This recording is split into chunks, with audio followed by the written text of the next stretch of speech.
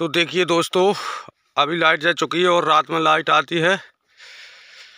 तो दोस्तों, ऐसी ठंड में जो है किसान काफ़ी मेहनत करके और पानी अपने खेतों में लगाते हैं। क्योंकि किसान जो है दोस्तों, अन्नदाता कहलाता है और काफ़ी मेहनत करने के बाद में यह अन्न उगाते हैं। देखिए दोस्तों, इधर जो है, ये जो है देख सकते हैं आप, इधर ट्यूबवेल है। और इधर देखिए स्टार्टर लगा हुआ है। यह बरगद का पेड़। तो दोस्तों मैं आपको दिखाने की कोशिश करूँगा। देखिए इधर।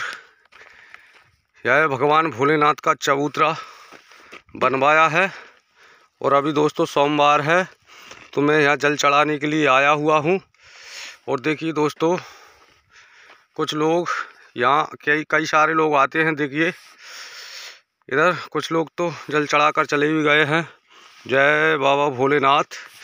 और देखिए, भगवान की पूजा कर गए हैं। और मैं भी अभी पूजा करने वाला हूँ यहाँ। मैं लेकर आया हूँ। ये देखिए, जल का लोटा पात्र।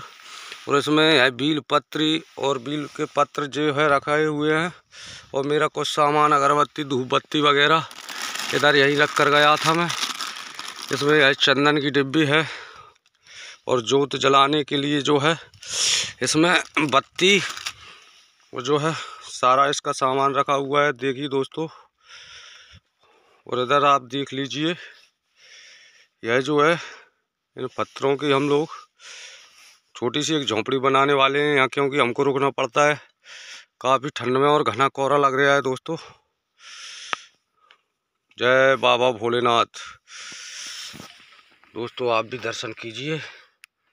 यह शिवलिंग के। जय बाबा भोलेनाथ, कमेंट में जय बाबा भोले की लिख दीजिए दोस्तों। जय श्री राम सबको।